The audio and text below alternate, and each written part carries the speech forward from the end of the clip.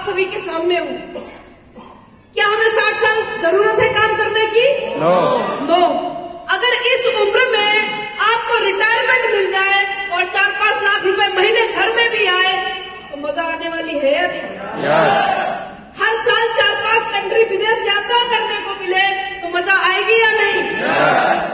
और दोस्तों मनचाही लाइफ जीने को मिले तो मज़ा आएगी या नहीं? तो दोस्तों मैंने यंगेस्ट रिटायरमेंट ले लिया है। साठ साल काम करने की ज़रूरत? नहीं है। फ्रेंड्स इस बिज़नेस की शुरुआत करने से पहले जब मैं जॉब कर रही थी एज ए सॉफ्टवेयर इंजीनियर मैं दिल्ली में जॉब कर रही थी और दोस्तों मेरा परिवार पचास लोगों का परिवार है पचास लोग मेरी फैमिली में हैं और मेरे फादर उस बिज़नेस के सॉरी उस फैमिली के ओनर थे और पूरा परिवार वो चलाते हैं आज भी चलाते हैं और दोस्तों मेरे पापा महीने की लगभग दस लाख रुपए की इनकम करते थे और पूरा पचास लोगों का परिवार चलाते थे और फ्रेंड्स जब मैं नौकरी कर रही थी मुझे कुछ दिन व्यतीत हुआ नौकरी करते हुए तो जो सपने मैंने इंजीनियरिंग करते टाइम देखे थे कि ज- जब हम नौकरी करेंगे तो बहुत अच्छा बंगला लेंगे बहुत अच्छी गाड़ी लेंगे बहुत अच्छा घर परिवार सबको चलाएँगे तो दोस्तों वो तो छोड़ दीजिए महीने में हम कुछ सेविंग भी नहीं कर पा रहे थे क्यों नहीं सेविंग कर पा रहे थे क्योंकि एक्सपेंसेस इतने हो जाते थे कि सारा पैसा महीने के लास्ट में आते आते खत्म हो जाता है यहाँ पर जितने नौकरी वाले बैठे हैं, सबका यही हाल है कोई बचा पाता है क्या नहीं सेव कर पाता है दोस्तों ऐसा ही मेरे साथ में हो रहा था और जब मेरे साथ ऐसा हो रहा था कि हम महीने का कुछ नहीं बचा पा रहे थे तो दोस्तों मेरे मन में एक बार बार बार ये बात आती थी कि कभी मेरे फादर का बिज़नेस डाउनफॉल होता है तो क्या मैं उनको एज अ राइट हैंड बन के सपोर्ट कर पाऊँगी? तो मेरे सामने एक बहुत बड़ा शून्य खड़ा हो जाता था कि जो लड़की आज अपने महीने के एंड में कोई सेविंग नहीं कर पाती है वो फादर को क्या सपोर्ट करेगी और दोस्तों वहाँ से लगने लगा कि यार जो सपने में सोचा था जो सोचते थे कि फादर को उनके लिए ये करेंगे उनके लिए वो करेंगे तो कुछ सपने पूरे होते हुए दिखाई नहीं दे रहे वहाँ से मन और दिल दिमाग कुछ और कहने लगा कि कुछ और करने की ज़रूरत है वरना ज़िंदगी ऐसे ही बीत जाएगी। बार बार मन में ये आने लगा कि आगे आने वाले दस साल भी अगर हम इसी काम को करते रहे तो शायद मेरी ज़िंदगी में कोई भी बहुत बड़ा परिवर्तन होने वाला नहीं। है क्योंकि थोड़ा बहुत इंक्रीमेंट होता लाख रुपए डेढ़ लाख रुपए तक जाते इससे ज़्यादा आगे कभी नहीं जा सकते थे। पूरी ज़िंदगी इसी में बीत जाती। और दोस्तों वहीं से मैं ईश्वर से कामना करने लगी और ईश्वर को बोलने लगी है ईश्वर मेरी ज़िंदगी में ऐसा मौका देना जिससे मैं अपनी पूरी लाइफ को ट्रांसफॉर्म कर सकूँ और मैं अपने सपनों को पूरा कर सकूँ।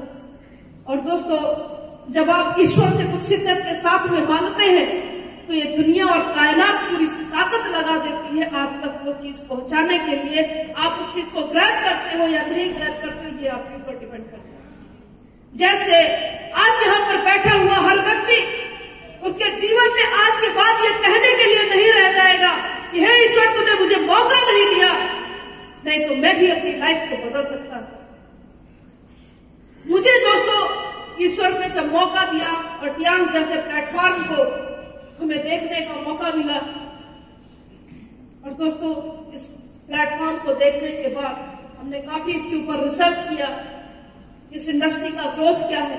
इसका आने वाला फ्यूचर क्या है भारत के अंदर? इसका कैरियर क्या होगा? सारी चीज़ें रिसर्च करने के बाद पता चला कि भारत में आने वाले समय की सबसे बड़ी ग्रोइंग इंडस्ट्री के रूप में उभरती हुई इंडस्ट्री है। अगर इस पे हमने काम कर लिया तो आने वाले समय में हम भी बिलियनियर बन सकते दोस्तों 2025 तक ये इंडस्ट्री जिसको वेलनेस इंडस्ट्री के नाम से जानते हैं, पैंसठ हज़ार करोड़ की इंडस्ट्री 2025 में होने जा रही है। और 2030 आते आते ये ट्रिलियन डॉलर इंडस्ट्री हो जाएगी। इन सब चीज़ों को देखने के बाद मैंने डिसीज़न लिया कि मुझे इस बिज़नेस को करना है। और दोस्तों, सिर्फ़ करना ही नहीं है, क्योंकि मेरी ज़िंदगी की खासियत है, जिस काम को करते हैं तो फिर सौ परसेंट उसमें एनर्जी लगा देते हैं। फिर आगे क्या हो रहा, पीछे क्या हो रहा, कोई मतलब मेरे से नहीं होता। मैंने अपनी जॉब को रिजाइन करने का डिसीज़न लिया और अपनी जॉब को रिजाइन करके हमने इस बिज़नेस की शुरुआत लखनऊ से करी। हम दिल्ली से वापस लखनऊ आ गए और यहाँ से अपनी शुरुआत करी और शुरुआत करने की ड्यूरेशन में, दोस्तों, जिस लड़की ने बहुत सारा पैसा लगाया हो घर वालों ने पैसा लगाया हो इंजीनियरिंग कराया हो, पढ़ाई लिखाई पे अच्छा पैसा खर्चा किया हो तो क्या घर वाले नौकरी छोड़ने से खुश हो जाएँगे? नहीं। हमारे घर वाले भी खुश नहीं थे। उनको भी ये लगता था कि हमने नौकरी छोड़ करके ये क्या काम नया शुरू कर दिया कि घर घर जाकर के पैड का डेमो और टेस्ट का डेमो करेंगे। और दोस्तों, मेरे साथ भी बड़े चैलेंजेस आना शुरू हो गए। मेरे भी घर वाले बहुत सारे कमेंट करना शुरू कर दिए, क्योंकि हमें कभी कभी फ़ील्ड में लेट भी हो जाती थी। तो घर में जैसे एंट्री करते थे तो पता चलता था, पचास बातें सुनने को मिलती थी। तुम दुनिया नहीं देखती, तुम समाज नहीं देखती, तुम घर वालों को नहीं देखती, तुम ये नहीं करती, तुम वो नहीं करती और दोस्तों मैं एक काम से सुनती दूसरे काम से निकाल देती मैंने कभी किसी को जवाब नहीं दिया और क्यों नहीं जवाब दिया पता है क्योंकि मैंने अपने मन में डिसाइड किया आज तो मैं कोई जवाब नहीं दे रही हूँ लेकिन आने वाले समय में मेरी सफलता सबको ज़बरदस्त। और दोस्तों वो लड़की जो शुरू के दो साल 80 किलोमीटर के दायरे से ज़्यादा दूर कहीं काम नहीं कर पाई क्योंकि रात में उसको वापस घर आना है। वो लड़की आज छह छह महीना घर नहीं जाती फ़ील्ड में रहती है उसके पास कोई फ़ोन नहीं आता है कि घर कब आ रही ये दिया है मुझे टियांस ने और इस सफलता ने। इसलिए दोस्तों मैं हमेशा कहती हूँ कि इस दुनिया में अगर किसी चीज़ के पीछे भागना है तो केवल और केवल भागना अपनी सफलता के पीछे दुनिया की हर चीज़ झक मार के आपके पीछे आएगी। ज़बरदस्त। हर चीज़ आपके पीछे झक मार के आएगी दोस्तों। मेरे पापा अभी दो साल पहले मेरे से मैरिज की बात करने लग गए। मैंने पापा को बोला कि मुझे शादी नहीं करनी है। मुझे टियांस का ऑनररी डायरेक्टर बनना है और आप परेशान मत हो। आपकी लड़की वो काम कर रही है जिस लड़के पे हाथ रखेगी वो लड़का आपका दबाव बनेगा ज़बरदस्त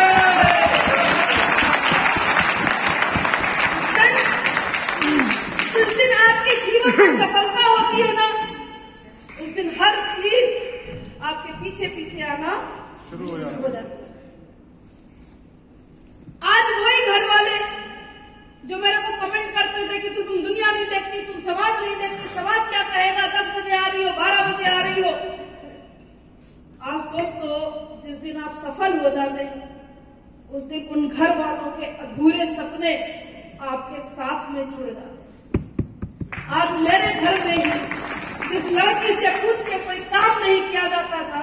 आज उस लड़की से बिना पूछे कोई काम नहीं।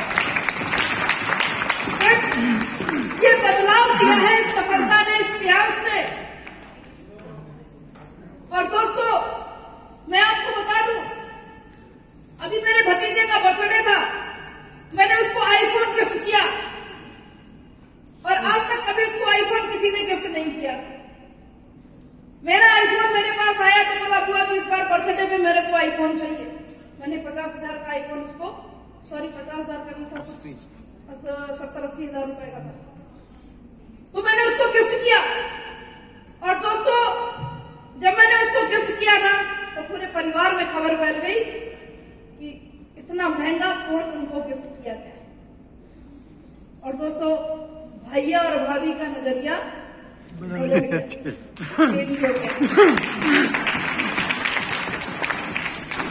भाई, उतने रिगार्ड से नहीं बात करते थे, आज वो रिगार्ड से बात करते हैं। दोस्तों, मेरी बहन की बेटी है, अभी मुश्किल से नौ दस साल की है। हाईएस्ट डिमांड उनकी रहती है। उनका एवरीथिंग मौसी गाड़ी सनरूफ हो जिसमें टच स्क्रीन हो, जिसमें ये हो, जिसमें वो हो, मेरे को उतने फीचर्स नहीं, पता जितना उनको पता है। ऐसी गाड़ी लेनी है। ऐसा घर बनवाना है। आज उनके सबके सपने जागृत हो गए। वही सिस्टर आप मेरे को बोलती है कि मेरे को लखनऊ में मकान चाहिए। और नए साल में फोर व्हीलर ज़रूर लेकर के दे देगा। और दोस्तों, ऐसे अब घर में डिमांड होने लग गई है घर में चेंजिंग आना शुरू हो गई है और वही फादर जो मेरे को कभी ढंग से बात नहीं करते थे थोड़ा रूरल का माहौल था तो रूरल में जानते ही मदर फादर जो होता है वो बॉन्डिंग नहीं होती बच्चों से। तो मेरे भी फादर ऐसे थे जॉइंट फैमिली थी। तो उनको देख करके हम लोग घर में छुप जाया करते थे इतना डर होता था। कभी घर के बाहर दहलीज में पैर नहीं रखते थे। थोड़ा गाँव का माहौल ऐसा होता है और कुछ ज़्यादा ही था। लेकिन दोस्तों आज वो भी बदल गए। जो कभी हमसे ढंग से बात नहीं करते थे आज वो हमसे बहुत लिबरल हो गए। क्यों? क्योंकि आज सफलता साथी हो गई फ्रेंड्स ये बदलाव आपकी ज़िंदगी में आता है और जब आप सफल हो जाते हैं तो हर चीज़ बदलना शुरू हो जाती है मेरे घर में मेरे प्याज का सप्लीमेंट कोई नहीं खाता था और आज एक ऐसा दिन है जब हम शुरू में देते थे तो कोई नहीं खाता था अब जाके देखेंगे तो मशीन भी बीसीएम रखी है भाई ब्रासलेट पहन के घूम रहा है मम्मी दसियों हज़ार का सप्लीमेंट हर महीने खा रही है अभी पापा को प्लेटलेस डाउन हुआ था वो प्रोटीन भी पी रहे हैं आयु 64 भी खा रहे हैं मल्टीविटामिन भी खा रहे हैं एवरीथिंग दोस्तों ये बदलाव देती है सफलता और अभी मैं आपको एक और बात बताऊँ, मेरा एक सपना था। जब मैं पॉलिटेक्निक कर रही थी तो उस समय मेरे फादर मेरे को फोर व्हीलर से भेजते थे। मेरे घर में उस समय बुलेरो गाड़ी थी। उसके बाद फिर स्कॉर्पियो आई। तो दोस्तों, पॉलिटेक्निक पास आउट करते करते मेरे घर में स्कॉर्पियो थी। तो स्कॉर्पियो से हम जाने आने लग गए। और उस समय मैंने डिसाइड किया था कि जब मैं इनकम करूँगी जब मैं खुद कमाने लगूँगी तो मैं अपने फादर को इससे भी बड़ी गाड़ियों से चलाऊँगी। और दोस्तों अभी रिसेंटली सर के साथ हम गए थे अभी टोयटा के शोरूम में और एक बहुत अच्छी गाड़ी आई है जो कि पेट्रोल और इलेक्ट्रिक दोनों है हाइब्रिड है और उसका नाम इनोवा हाई क्रॉस है।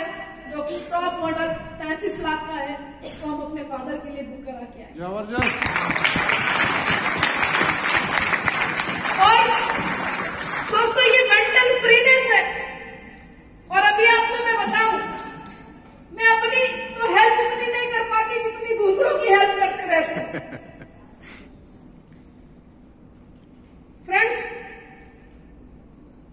रिसेंटली अभी हमारे गुरु जी थे जिनका नाम आप सभी लोगों ने सुना भी होगा और देखा भी होगा मैंने फ़ोटो भी अपलोड करी थी फेसबुक पर तो दोस्तों अट, मुझे लग रहा है अट्ठारह साल हो गए 2007 की बात है और 2007 में हमारे घर पर वो आए थे और उन्होंने 108 कुंडी यज्ञ कराया था और दोस्तों जब यज्ञ कराए थे तो उस समय उन्होंने मेरे से एक चीज़ बोली थी कि बेटा जब तुम कमाने लगना तो हमें आपसे कुछ चाहिए तो हमने कहा ठीक है गुरुजी और दोस्तों वो पिछले साल मेरे को मिले और दोबारा उनसे बातचीत होना शुरू हुई कांटेक्ट नंबर था मेरे पास में लेकिन कम्युनिकेशन नहीं था बाय डिफ़ॉल्ट उन्होंने कम्युनिकेशन शुरू किया और दोस्तों मेरे से उन्होंने डिमांड किया कि मेरे को रॉयल इनफील्ड 350 क्लासिक चाहिए और दोस्तों प्रेजेंट टाइम में वो ढाई लाख की बुलेट है। हम गए और उनको अप्रैल मंथ में एक शॉट में ढाई लाख रुपए जमा करके रॉयल एनफील्ड बुलेट 350 क्लास उनको दिलवाई और उनका सपना पूरा किया। यहाँ पर सिर्फ़ आप अपने सपने ही नहीं पूरे करते हो, अपने साथ साथ हज़ारों लोगों के सपनों को पूरा कर सकते हैं। पूरा कर सकते हैं। और लगातार दोस्तों हमें एक सा, एक साल हुआ था एक से डेढ़ साल जब हम इस संस्था में स्टार एड बने थे। और आपको मैं कहानी बताऊँ दोस्तों 2016 तक जून जुलाई 2016 तक मेरे पास में स्मार्टफ़ोन नहीं था। आपको यकीन नहीं होगा कि 2016 तक मेरे पास में स्मार्टफ़ोन नहीं था। मैंने पॉलिटेक्निक कर लिया इंजीनियरिंग कर लिया, सब कुछ कर लिया, लेकिन मेरे पास बटन वाला मोबाइल था, मेरे पास में स्मार्टफ़ोन नहीं था। मैं दूसरों को देखती थी तो मुझे लगता था ये सब मेरे से बहुत आगे है। ये सब स्मार्टफ़ोन चला लेते ये सब कर लेते मेल चला कर लेते मेरे को कुछ नहीं आता और दोस्तों इतिहास से 2016 में मेरा एक अगस्त में वही पे आउट आया था पैतालीस सौ रुपए का और मैं लखनऊ में नाका हिंडोला में गई और सबसे पहले साइनेज का चाइनीज़ स्मार्टफ़ोन लिया जिस फ़ोन का बनाया हुआ लखनऊ ग्रुप है जिसमें आप सभी लोग जुड़े हुए वो मेरा सबसे पहला अचीवमेंट था और उसके बाद दोस्तों स्टार एड बने संस्था में फिर हमने अपनी जुपिटर स्कूटी परचेज किया अठहत्तर हज़ार के उस समय ऑन कैश उसको परचेज किया और जब मेरे पास में स्कूटी नहीं थी तो मुझे स्कूटी चलाना दिन में मैंने उसको सीखा। मेरे पास में स्मार्टफ़ोन नहीं था तो मुझे चलाना नहीं आता था। जब स्मार्टफ़ोन आ गया तो चलाना भी आ गया। और दोस्तों, उसके बाद इस संस्था में दो साल बीते, मैं ब्राउन मैन बनी और बीएमडब्ल्यू कार फंड अचीवर बनी। उसके बाद दोस्तों, मैंने फोर व्हीलर परचेज किया और तब तक मेरे को फोर व्हीलर भी ड्राइव करना नहीं आता था और दो दिन के अंदर मैंने फोर व्हीलर चलाना सीखा। अंदर और दोस्तों आज मेरे जितनी यहाँ पर जितनी महिलाएँ बैठी मैं चैलेंज कर सकती हूँ कि मेरे टक्कर की ड्राइविंग नहीं कर सकते आप। मेरे टक्कर की ड्राइविंग नहीं कर सकते फ्रेंड्स पैन इंडिया आज मैं जाती हूँ अपनी फोर व्हीलर ड्राइव करके मुझे कोई दूसरे इंसान की ज़रूरत नहीं पड़ती टायर खराब होता है मैं खुद बदल लेती हूँ वो हमारी मैडम बैठी हुई है सेल मैम इनको हम शाहजहांपुर से लेके बरेली जा रहे थे तो कैंट में पंचर हो गया भैया पंचर हो गया अभी कह रही मैम बारिश भी हो रही है यहाँ कौन आएगा रात भी हो गई है हम लोग यहीं खड़े रहेंगे ना ऑटो ना रिक्शा ना कुछ रात के ग्यारह बज रहे यहाँ कौन बदलने आएगा कैसे सही करेंगे हम क्या मैम टेंशन मत लो मैं गई डिक्की खोली स्टपनी निकाली और स्क्रू सब निकाले शुरू कर दिया पहिया खोलना जैक लगाया पहिया खोला चेंज किया बदला फिर उसको सेट किया हमने कहा मैम अब बैठ जाओ चलते हैं बरेली और रात में हम लोग बारह बजे बरेली पहुँचे दोस्तों वो डर रही थी कि अब क्या होगा अब पहिया कैसे बदलेगा बारिश भी हो रही कैंट में खड़े हैं कोई सहयोग करने वाला नहीं है तो दोस्तों जीवन में हमेशा चैलेंज लीजिए, रिस्क लीजिए, कामयाब अपने आप, होते चले जाएँगे। मैंने अपनी ज़िंदगी का हर बड़े से बड़ा रिस्क लिया। एक बार मैं शाहजहांपुर से अकेले रात में बारह बजे वापस आ रही थी और मैं अपने जीवन की सच्ची घटना बता रही हूँ। शाहजहांपुर में मीटिंग करने गई थी और शाहजहांपुर से मैं वापस अकेले आ रही थी। और रास्ते में एक जगह ब्रेकर पड़ा और स्पीड से थोड़ा गाड़ी थी, वो निकला तो एक्सल टेढ़ा हो गया। अब मैं एक जगह गई रात में वहाँ पे एक जगह मिस्त्री को अपने घर में सो गया। कुछ वहाँ पे लोग थे, उन्होंने बताया, वो फलानी जगह घर है, उसका वहाँ पे आवाज़ दीजिए तो शायद वो जग जाए, कुछ सही कर दे, जुगाड़ कर दे। हम गए, उसको आवाज़ दिलाई, वो उठा ही नहीं, दरवाजे ही नहीं खोले। और दोस्तों, मैं रात में ही माता रानी का नाम लेते हुए गाड़ी लखनऊ तक लेकर के आई। और वैसी ही हालत में और अकेले लेकर के आई, मेरे साथ कोई दूसरा नहीं था। और दोस्तों, मैंने इतने बड़े बड़े रिस्क लिए हैं। मैं अकेले यहाँ से मिर्जापुर, बनारस, पटना, सासाराम, सब जगह मैं अकेले गई। एक बार अरविंद सर लेके गए, मेरी नॉन स्टॉप ड्राइविंग थी। मैं रात को दस बजे पटना से चली थी और सवेरे सात बजे नॉन स्टॉप गाड़ी हमने लखनऊ लगाई थी। जिसमें भावना थी हमारे साथ फ्रेंड्स ये बदलाव किया है तो लड़की, मैं आपको बताऊँ, जब मैं पॉलिटेक्निक करने घर से बाहर निकली थी तो रोड पे खड़े होकर रिक्शे वाले को आवाज़ देने में भी डर लगता क्यों? कभी कभी आवाज़ ही नहीं दी। कभी घर से बाहर निकले ही नहीं। गले में आवाज़ नहीं निकलती थी कि भैया, रुक जा, मेरे को भी लेते चलो। ये आवाज़ नहीं आती थी। और दोस्तों, आज वो दिन है आज सब कुछ बदल गया। सब चीज़ें बदल गई है। आज आवाज़ नहीं पूरे विश्व में आवाज़ जा रही है। तो नीचे वाले आवाज़ नहीं दे पाती थी उसको भी डर था आवाज़ करने में। आज उसकी आवाज़ पूरे विश्व में जा रही है। ये बदलाव दिया है इतिहास में दोस्तों ये दिया है सारी सफलता ने। और दोस्तों इसीलिए मैं कहती हूँ हमेशा जीवन में अगर भागना है किसी के पीछे तो अपनी सफलता के पीछे भागना ये सफलता आपको सब कुछ दे देगी। आपका मान सम्मान रेस्पेक्ट एवरीथिंग एवरीथिंग आपको देगी आज छोटे से बड़े हर इंसान का सपना घर में मेरे से जुड़ा हुआ है और छोड़ दीजिए अभी हमारे मौसा मौसा जी का कल कल फ़ोन आया था उनका बेटा एडमिट था तो उस दिन भी उन्होंने मेरे को फ़ोन किया जो नात रिश्तेदार कभी मेरे से कनेक्ट में नहीं थे आज सारे लोग कनेक्शन में हो गए उन्होंने बोला मौसी की तबीयत खराब है बेटा। अकाउंट में पैसे डाल मेरे को एक सेकंड नहीं लगा। मैंने बीस हज़ार रुपए तक से उनके अकाउंट में डाले। दोस्तों हर जगह आपका वेटेज बढ़ जाता है। हर इंसान की आपकी उम्मीद बढ़ जाती है चाहे नाथ हो चाहे रिश्तेदार हो चाहे आपका घर वाला हो चाहे आपके माँ बाप हो चाहे आपका भाई हो, सबसे आपकी उम्मीदें बढ़ जाती है।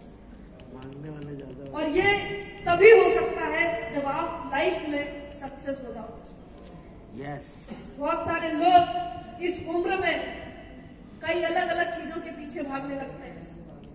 लेकिन दोस्तों सही जगह सही एनर्जी लगा करके आप जीवन में विकास कर सकते हो और ये एक ऐसा प्लेटफॉर्म है जहाँ से हर इंसान के लिए आप प्रॉफिटेबल बन सकते हो और हर इंसान का सपना पूरा कर सकते हो। जैसे मेरी ज़िंदगी बदली है दोस्तों, मेरी ज़िंदगी में आज पूरा चेंज हो चुका है। वैसे आपकी भी ज़िंदगी में हो सकता है और मैंने भी चैलेंजेस को झेला है, आप भी उन चैलेंज को झेल करके आगे बढ़ सकते हैं। तो यही से मैंने बात को विराम करेंगे। Thank you wish you all the best thank you thank you so much